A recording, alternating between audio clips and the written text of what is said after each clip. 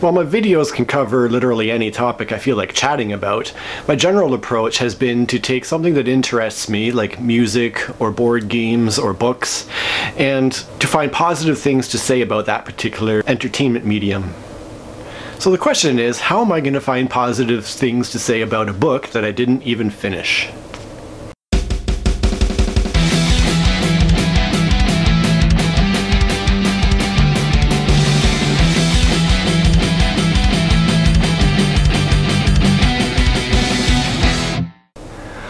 Love in the Time of Cholera by Gabriel Garcia Marquez was recommended to me during an author meet and greet. I had a chance to meet Guy Gavriel Kay, who is one of my favorite fantasy authors, and this was one of the books that he had recommended I check out. So I did.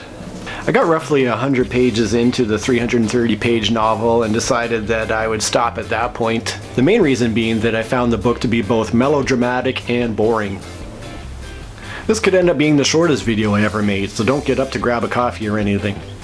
I do wonder with books like this if something's lost in translation. This was originally written in Spanish. And another classic Spanish novel, Don Quixote, was one of the worst books that I had ever read. And that one also left me wondering if I was missing something with the English translation. That being said though, the English translation I read of Les Miserables ended up being one of the best books I've ever read. So I'm sure that's not totally it. In terms of the positive things I can talk about with Love in a Time of Cholera, I would say first of all that there's an interesting historical setting.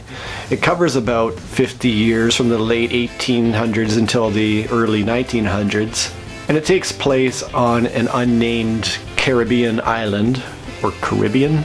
The Caribbean or Caribbean, or both. And the historical setting and the interaction between the wealthy white characters and the poorer indigenous peoples is kind of interesting.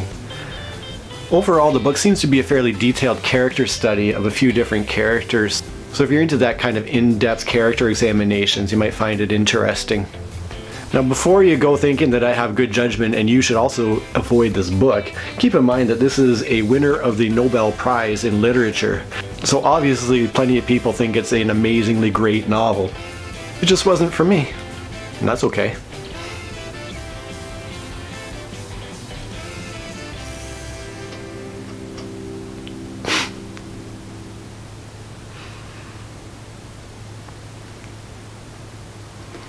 I guess that's it. Hey, it's Josh here, just wanting to thank you for watching my video. If you want to support me, it would be great if you give me a quick like, a subscribe, and if you share this video with one other book lover in your life. Cheers. Love in the time of car... Cholera, Gabriel.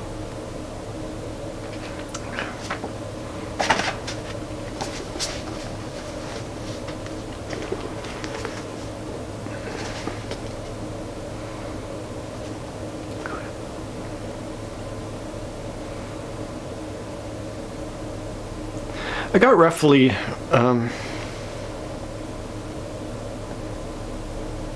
the main reason being because I found the book the main reason being that I found the book to be generally boring and the main reason being that I found the book to be generally melodramatic so this could end up being the very so this could end up being the shortest video I've ever made there were a couple of in terms of what I can say or so